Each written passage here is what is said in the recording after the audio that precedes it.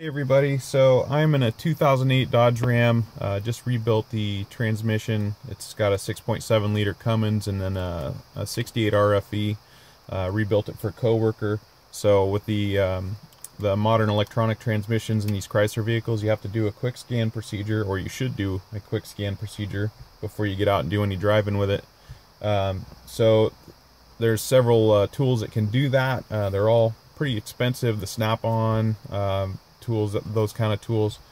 Um, the cheapest one that I found was this iCarScan, uh, which looks like an ELM 327 OBD2 adapter. Um, kind of functions the same way too. It pairs up with your smartphone and it gives you a lot of that dealer level uh, diagnostic capability.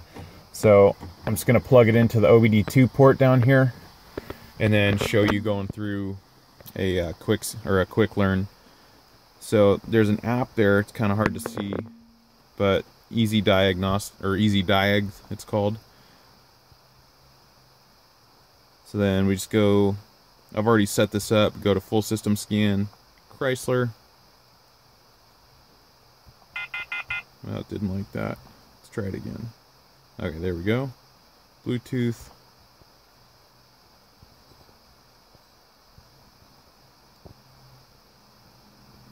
okay 16 pin we're going to automatically search.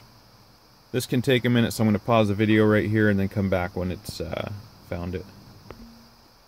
Okay, so after about 30 or 60 seconds, not too long, it popped up with this. It's found the vehicle.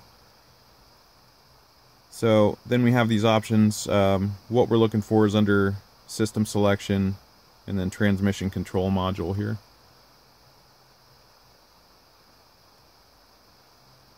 Okay, and then special function test.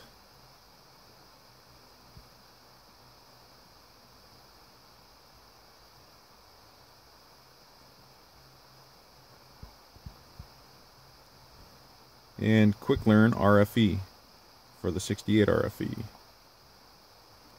Okay, so it's giving me an error and you're going to see why. Engine must be running. Okay, so let's start the engine. Alright, engine started.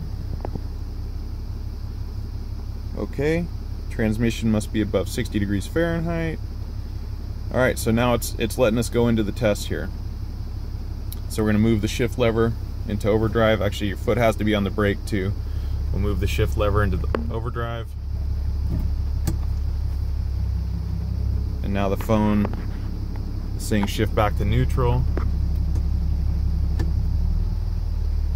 Okay. And it said for a brief second before I could get to it, quick learn procedure in progress.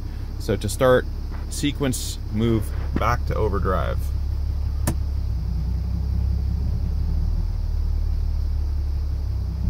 And when this happens, you can feel various clutches applying and uh, releasing. Okay, so move shift lever back to park